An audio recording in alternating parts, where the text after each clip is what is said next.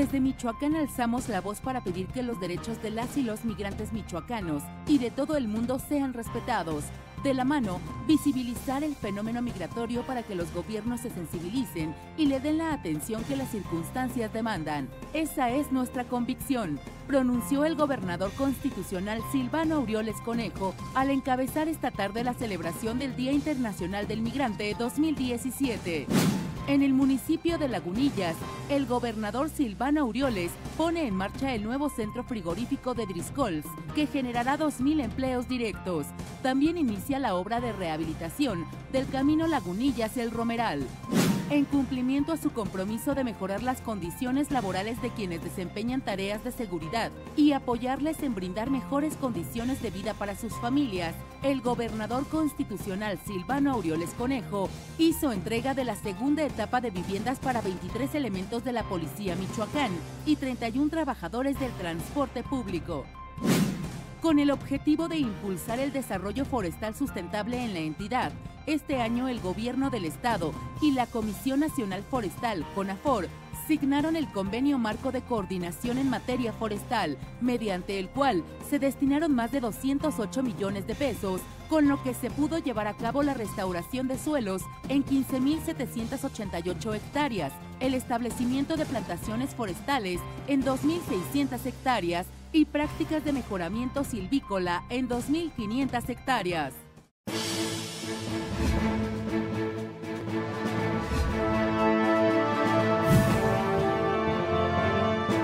Con profesionalismo y entrega se fortalece la Policía Municipal de Morelia para atender y cuidar a los ciudadanos. Ahora contamos con una policía más capacitada y cercana. Sumamos una nueva generación de elementos totalmente certificados y comprometidos. Policía Municipal de Morelia. Morelia de todos. Ayuntamiento de Morelia.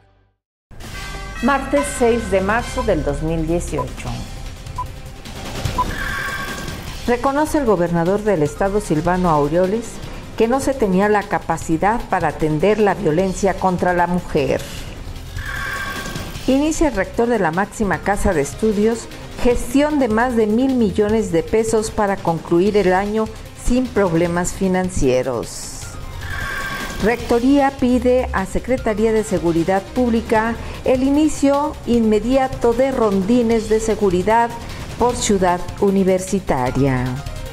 Reconoce Manuel López Meléndez irregularidad en el Congreso del Estado por la falta de designación de fiscales y magistrados anticorrupción.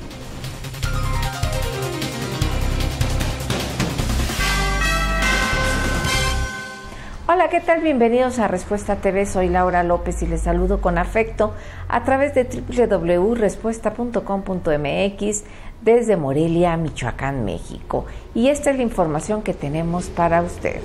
El día de hoy el gobernador del estado, Silvano Aureoles, bueno, pues reconoció que no había capacidad para atender la violencia contra las mujeres. El detalle de esta información con Yasmín Ferreira. El gobernador Silvano Aureoles reconoció que los gobiernos no tenían la capacidad de atender la violencia contra las mujeres, al considerar que no es que se haya recrudecido esta en dicho sector de la población. No recrudeció, no teníamos capacidad de observarla y atenderla, aseguró. Al poner en marcha el protocolo para la violencia contra las mujeres en el Estado, el gobernador Aureoles aseguró que Michoacán transitará a una mejor condición una vez que no haya impunidad en ningún caso de violencia o maltrato a las mujeres michoacanas. El mandatario estatal pidió incidir en el cambio de patrones de conducta desde el seno familiar, así como practicar una educación escolar temprana, libre de violencia contra las mujeres. Incluso reformar la ley, si es necesario, a fin de que desde la educación preescolar se enseñe el respeto a los derechos de igualdad. Recordó que el 92% de los hechos de violencia se generan en la familia y al interior de casa. Por su parte, el Procurador General de Justicia del Estado, José Martín Godoy Castro, informó que este protocolo será la herramienta para brindar atención a la integridad y seguridad de las mujeres a fin de lograr una vida digna.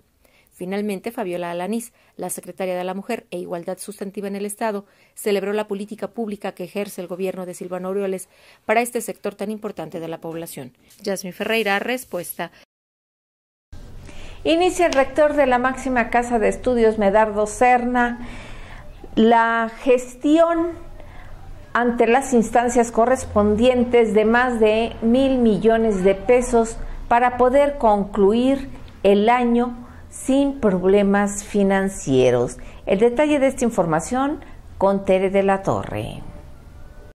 De 1.050 millones de pesos es el recurso faltante que la autoridad de la Universidad Michoacana requiere estabilizar como asignación permanente vía lograr aumento del subsidio gubernamental.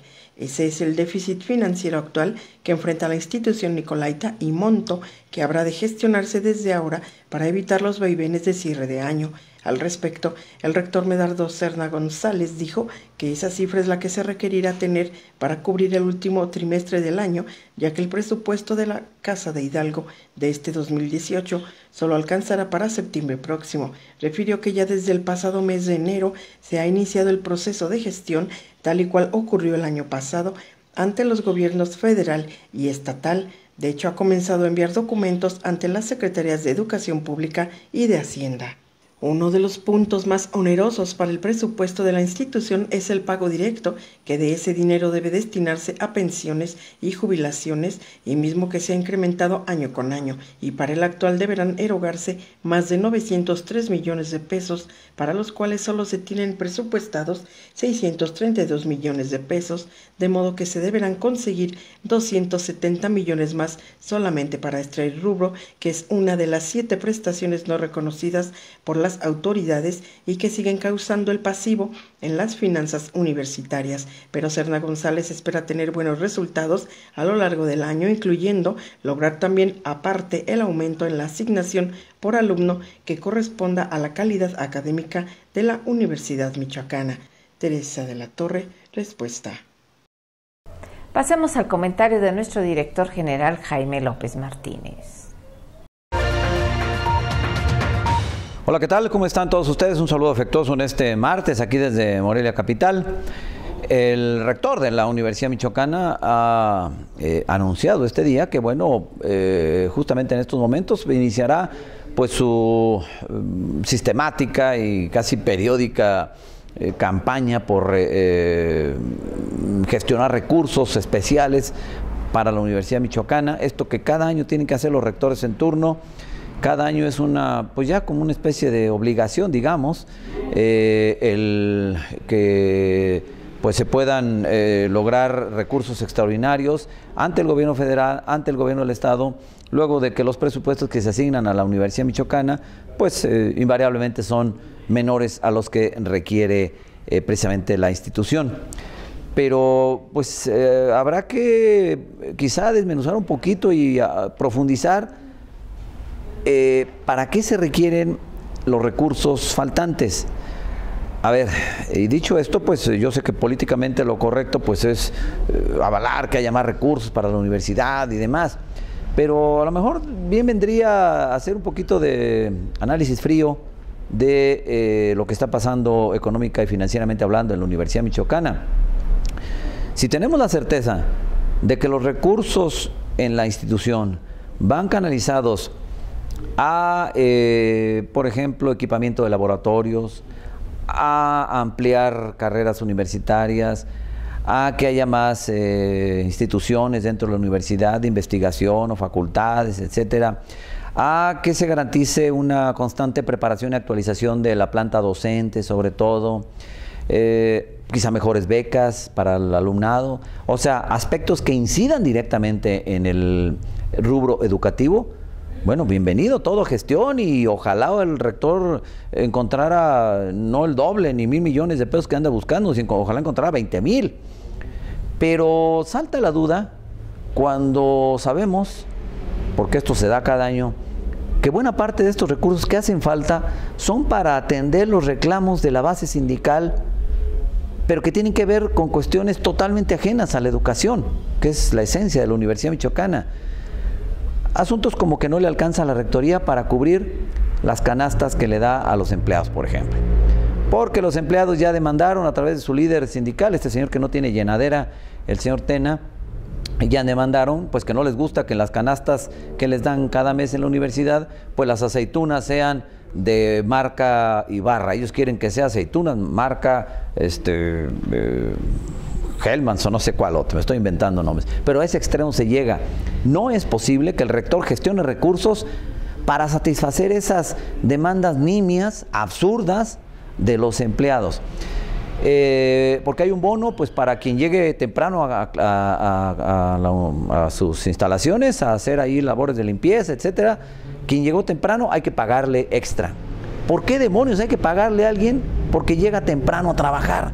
Esas cosas absurdas son lo que obligan a, la Universidad Michoacana a gestionar recursos. Repito, esos recursos que va a gestionar el rector no son para cuestiones de calidad educativa, son para satisfacer las ambiciones eh, pues eh, sin control que tiene el sindicato, sobre todo el de empleados. Esto no es posible. Y como van dirigidos a eso, déjame decirle algo que es políticamente incorrecto.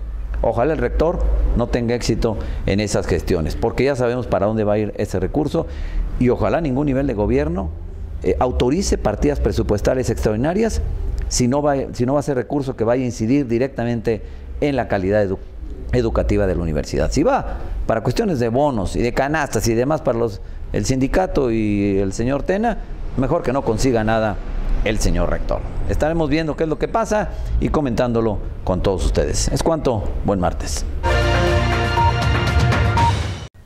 Asimismo, Rectoría pide a la Secretaría de Seguridad Pública, bueno, pues inicie de manera inmediata los rondines de seguridad por ciudad universitaria. Tere de la Torre con la información. La autoridad Nicolaita está a la espera de que la Secretaría de Seguridad Pública inicie los rondines de vigilancia en los alrededores de Ciudad Universitaria, según lo informó el rector Medardo Serna González, quien señaló que más allá de la autonomía de la demarcación y del sistema interno de seguridad, es deber de la autoridad estatal garantizar la seguridad no solo a la comunidad nicolaita, sino a la población se trata, explicó en entrevista, de que se inicien de inmediato en beneficio de la población que vive cerca de CEU y el resto de los planteles universitarios comprendidos en el campus, a quienes acuden estudiantes, así como profesores y empleados de la máxima casa de estudios. La propuesta, dijo, es que se realicen los recorridos policíacos diariamente. Reveló el jefe Nicolaita que este acuerdo entre la máxima casa de estudios y la Secretaría de Seguridad Pública se tomó luego de que ha quedado reconocido que al interior del campus universitario han ocurrido varios casos de consumo de drogas y alcohol ya detectados por la autoridad. De todos modos aclaró que ambas instituciones han tenido comunicación permanente y estado coordinados. Teresa de la Torre, respuesta. En otros temas, reconoce Manuel López Meléndez irregularidades en el Congreso del Estado por la falta de designación de fiscales y magistrados anticorrupción. La información es de Alejandra Martínez. El secretario general del Partido de la Revolución Democrática, Manuel López Meléndez, reconoció que el Congreso del Estado recae en irregularidad por postergar la designación del fiscal general, el de anticorrupción, así como los dos magistrados del Tribunal de Justicia Administrativa. En rueda de prensa en el primer cuadro de la ciudad, el también legislador local calificó el tema como preocupante debido a que el sistema estatal anticorrupción no puede operar sin que se designen a los perfiles que ocuparán estos cargos. Y es que en menos de un mes los legisladores empezarán a solicitar licencia para participar en la contienda electoral, lo que provocará una reconfiguración del Parlamento michoacano y se corre el riesgo de que los suplentes designen a los perfiles sin conocer este tema. López Meléndez reconoció que aún no existen acuerdos dentro de las Comisiones Unidas de Gobernación y Justicia para elegir a uno de los cinco aspirantes a ocupar el cargo de fiscal anticorrupción. Y es que la 73 legislatura registra división de opiniones debido a que la bancada perredista impulsa a Marco Aurelio Nava para la Fiscalía Anticorrupción y para ello formó un bloque de 19 diputados junto con los del Partido del Trabajo y Movimiento de Regeneración Nacional mientras que la fracción parlamentaria del Partido Revolucionario Institucional se ha opuesto a que se designe a un perfil vinculado al gobierno del Estado, y esto podría entrampar el tema, según reconoció Manuel López Meléndez. Cabe señalar que quienes aspiran a ocupar el cargo son Lauro Payares Ramos, Alejandro Carrillo Ochoa, Edgar Hugo Rojas Figueroa, Salvador Sandoval Rodríguez y Marco Aurelio Navas Cervantes. Cuatro de ellos colaboran en la administración estatal y principalmente este último ha sido señalado por su cercanía con el titular del Ejecutivo. Y ante esta falta de nombramientos de los fiscales y magistrados del sistema anticorrupción, bueno, pues la Coparmex hace un llamado precisamente a la 73 legislatura a que de manera inmediata hagan estos nombramientos. La información es de Jessica Aguirre. La presidenta de la Coparmex Michoacán, Lidia Nava Vázquez, realizó un llamado al Congreso del Estado para que resuelva pronto la designación del fiscal anticorrupción para que pueda iniciar de manera integral el funcionamiento del sistema estatal anticorrupción. De ahí que señaló que se había avanzado bien ya que se promulgó en tiempo la ley del sistema estatal anticorrupción, pero si no se están todas las partes que lo integrarán designadas, no podrán avanzar bien en la principal tarea que es prevenir y dar seguimiento a los actos de corrupción como el que se está presentando en la Auditoría Superior. Asimismo refirió a Lidia Nava que en próximos días el Comité de Selección enviará la terna de propuestas para el Contralor del Sistema Estatal Anticorrupción al Congreso del Estado, en donde solo se recibieron seis perfiles a pesar del plazo de más tiempo para la llegada de más perfiles, pero se recibieron pocos. De igual manera, señaló que en la figura del Contralor se busca un perfil ciudadano, independiente y con experiencia en fiscalización de recursos públicos, por lo que es difícil que sean ajenos a la función pública, por lo que es posible que quien llegue al cargo de Contralor del Sistema Estatal Anticorrupción ya haya ocupado algún cargo dentro del gobierno. Jessica Aguirre, respuesta en otros temas, busca Puerto Rico dejar de ser Estado asociado de Estados Unidos. Jessica Aguirre con el detalle.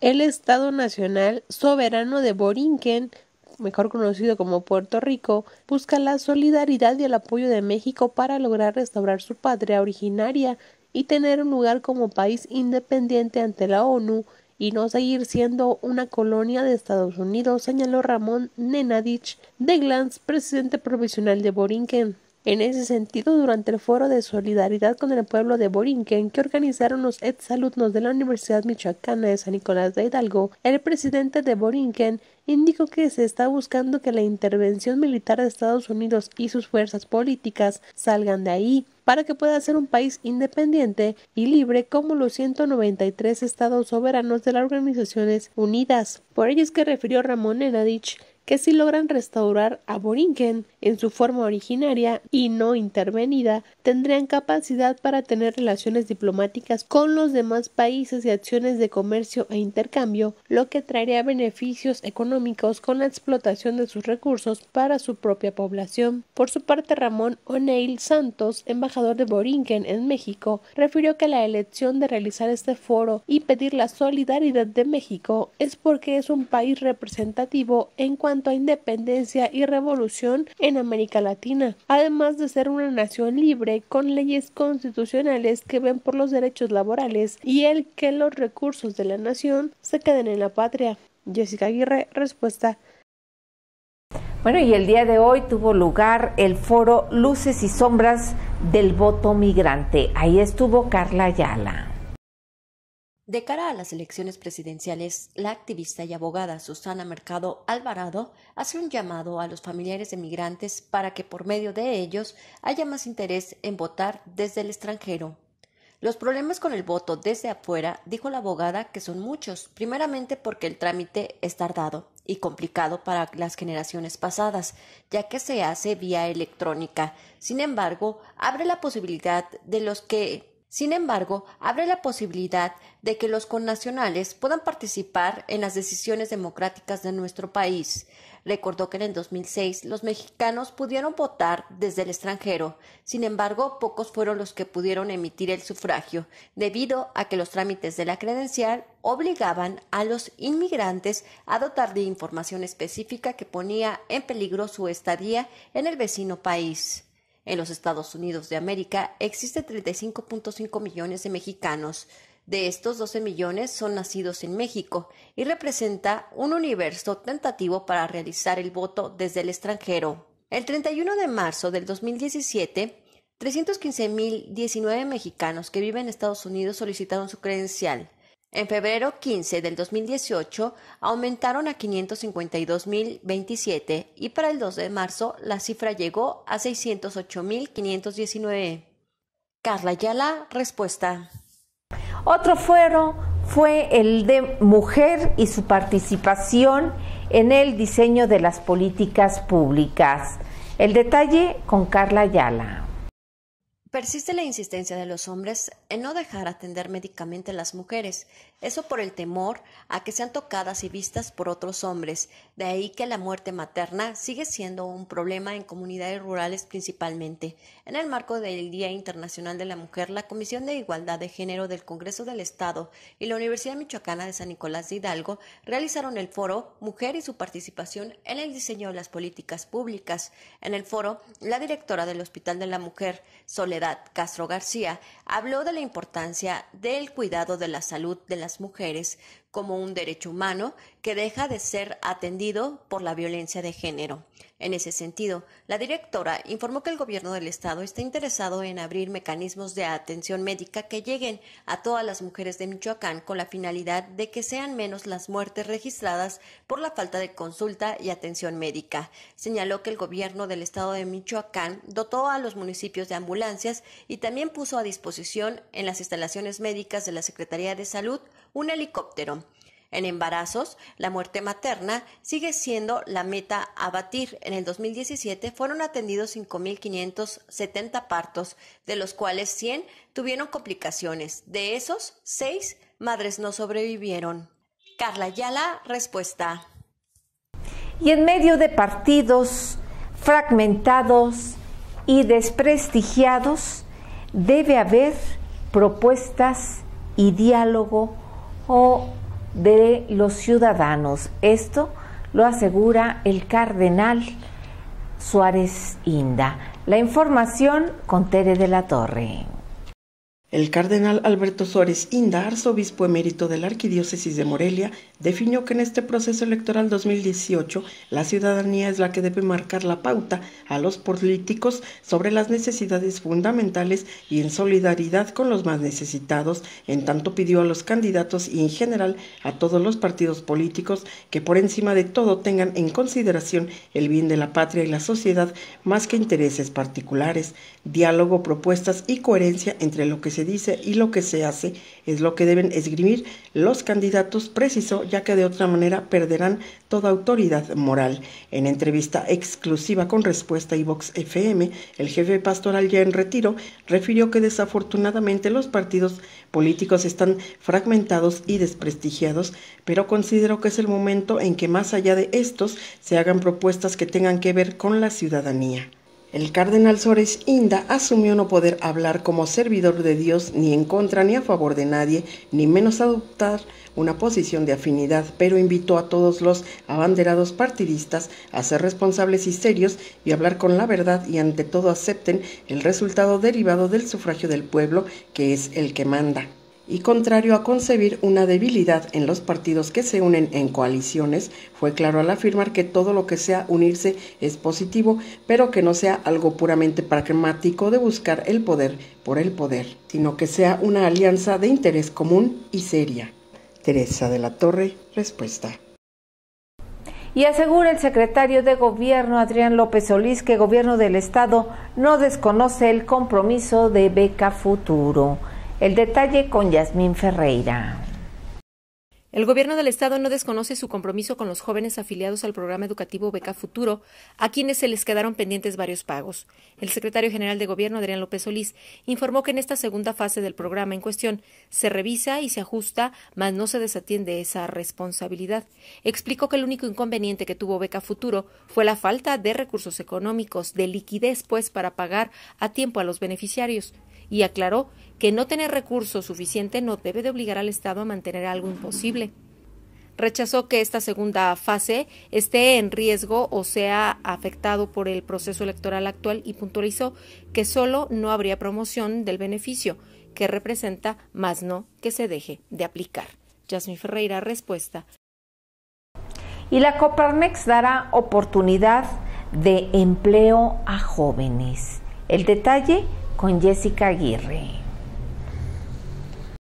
El Instituto de la Juventud Michoacana y la Coparmex signaron un convenio de colaboración y en ese sentido Juliana Bugarini Torres, directora del IJUMICH, refirió que este convenio servirá para brindar una experiencia laboral que les sirva a los jóvenes para que se vayan insertando en el mundo laboral y sobre todo que tengan mayores programas y ofertas en donde realizar los mismos y que estos lo realicen de acuerdo a lo que estudiaron y no solo sean los que mandan a sacar copias. De igual manera indicó Bugarni Torres que se han entregado 10.500 acreditaciones a jóvenes que realizaron sus servicios sociales en alguna dependencia o empresa afín que incorpora a los cerca de 195 programas para elegir el que más se adapte a lo que los jóvenes estudiaron. Por su parte, Lidia Nava Vázquez, presidenta de Coparmex Michoacán, señaló que se firmaron tres convenios de colaboración. Uno es para que los jóvenes realicen su servicio social en alguna de las empresas afiliadas a Coparmex. Asimismo, el segundo referente a la bolsa de trabajo para que se queden en la empresa en donde realizaron su servicio social y el tercero el impulsar los créditos para que los jóvenes puedan tener oportunidades de crear y tener sus propios negocios y empresas. Jessica Aguirre, respuesta y sale Gendarmería Nacional de Michoacán. El detalle con Yasmín Ferreira. El secretario de Seguridad Pública, Juan Bernardo Corona Martínez, confirmó el retiro de la Gendarmería Nacional de Michoacán y el municipio de Morelia, donde mayormente tenía presencia. A cuatro años de la intervención federal ante el surgimiento de los grupos de autodefensa, el Gobierno de la República traslada a los 100 elementos de la Gendarmería que permanecían en la entidad a otros estados donde ahora se requiere el reforzamiento de la seguridad, explicó el funcionario. Indicó que en las próximas horas los mandos de las diferentes corporaciones policiales locales y federales, además de la Secretaría de la Defensa Nacional, estarían revisando y replanteando la estrategia de seguridad en la entidad. En el caso de la capital michoacana, donde la mayor fuerza de la Gendarmería permanecía en apoyo a la policía local, también se analizará con el presidente municipal Alfonso Martínez el reacomodo de la corporación municipal. El resto del Estado, más en aquellos municipios generadores de violencia, se reforzará con la FRI, que es la Fuerza de Reacción Inmediata para atenderlos. El secretario aseguró que no se bajará la guardia en seguridad y comprometió tranquilidad y orden para los michoacanos. Yasmín Ferreira, respuesta. Por otro lado, invita el edil moreliano Alfonso Martínez Alcázar al diputado federal Marco Cortés a que constate los avances que en seguridad se tiene en el municipio. Carla Ayala con la información. El presidente municipal de Morelia, Alfonso Martínez Alcázar, invitó a Marco Cortés a conocer de los avances que ha tenido la ciudad en materia de seguridad, luego de que el diputado federal criticó severamente el desempeño en ese sentido, Martínez Alcázar defendió la estrategia que selló su administración, la cual ha sido reconocida por organismos internacionales debido a la formación de policías de proximidad. Recordó que Morelia no había policías. Sin embargo, a la fecha son más de 700 los elementos que están a disposición de los ciudadanos. Según Alfonso Martínez Alcázar, en cuanto haya más denuncias, serán más reales las estadísticas, las cuales elevará los niveles de delincuencia. Por eso será necesario comparar los datos con la cifra negra para buscar la estabilidad del panorama. Carla Yala, respuesta. Informa la Procuraduría General de Justicia del Estado que se practican mm, los estudios de ADN al Cuquín. La información con Yasmín Ferreira. El Procurador General de Justicia del Estado, José Martín Godoy Castro, informó que ya se practicaron pruebas de ADN para identificar a José Alfredo Jiménez Alvarado, alias el Cuquín, presunto líder criminal que operaba en la Tierra Caliente. Indicó que familiares de Jiménez Alvarado comparecieron ante la Procuraduría de Justicia y se realizaron las pruebas correspondientes. Todo indica que sí se trata de quien perteneciera a los grupos de autodefensa y posteriormente se vinculara con el crimen organizado. El Cuquín, según la información del procurador, viajaba con el ex líder de las autodefensas en Tepalcatepec, José Manuel Mireles, en aquella ocasión en que se desplomó la avioneta en que se trasladaban. El procurador michoacano reconoció que el grupo delincuencial de los Viagras ya existía antes de la intervención federal y las autodefensas, muchos, fueron a caer en el campo delincuencial de los Viagras. Finalmente, aceptó que ya tienen identificados los municipios y lugares donde se esconden varios objetivos de la delincuencia, pero por obvias razones es información reservada. Yasmin Ferreira, respuesta. Le agradezco el favor de su atención a este resumen preparado por el equipo de respuesta. Lo esperamos en nuestra siguiente emisión. Hasta entonces.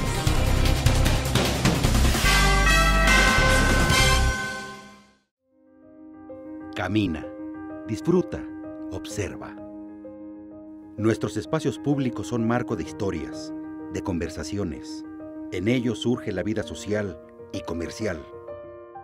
Morelia pronto será una ciudad con más y mejores condiciones en el espacio abierto para recorrerla y apreciar al paso las cientos de historias que se tejen en sus aceras. Camina a tu ciudad. Morelia de todos, Ayuntamiento de Morelia.